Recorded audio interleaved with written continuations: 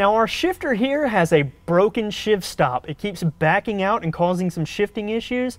So we're gonna go ahead and pull it out of the way and throw in one of our economy shifters. This thing right here is bad to the bone. You're gonna have such a shorter shift throw than your stock shifter. It's made out of billet, lightweight, has integrated shift stops in it with lock nuts. That way you won't have to worry about damaging your T5 or T45 transmission. Now to remove your existing shifter, a 13 millimeter or half inch socket is all you need. Simply pull out the four bolts that hold in the existing shifter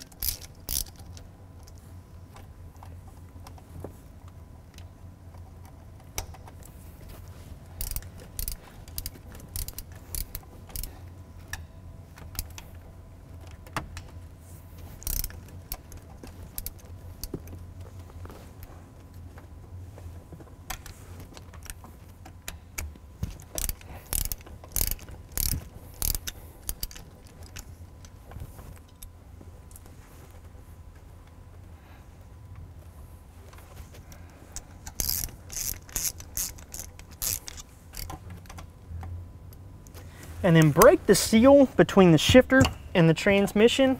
Pick it up out of the way.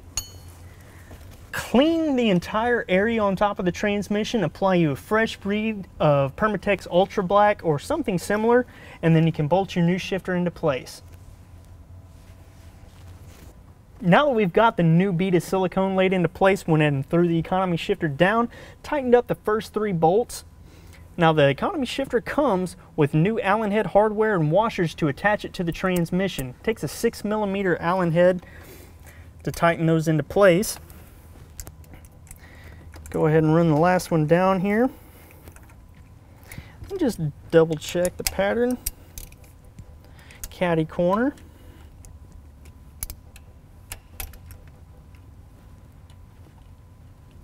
All right, now we're gonna set the shift stops. Go ahead and slide it up into third gear. Take your six millimeter Allen socket and run the shift stop in until it barely touches the shifter handle and then back it out about an eighth of a turn and then tighten down the lock nut with an adjustable wrench. And we'll do the same thing, pull it down into fourth gear, run that shifter stop up till it barely touches back it off about an eighth of a turn and tighten down that lock nut. Now your shifter stops are set and you won't have to worry about damaging the shift forks inside your transmission. Now we can go ahead and take the lower shift boot, slide it back into place. Unlike some aftermarket shifters, you do not have to trim your shift boot with our economy shifter.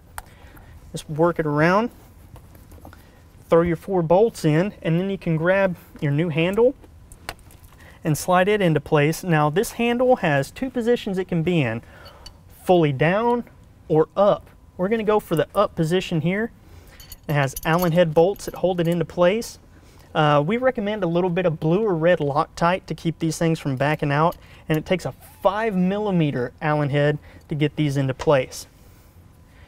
Now once you get these bolts tightened up, you can go ahead, throw in your console, and enjoy your new shifter.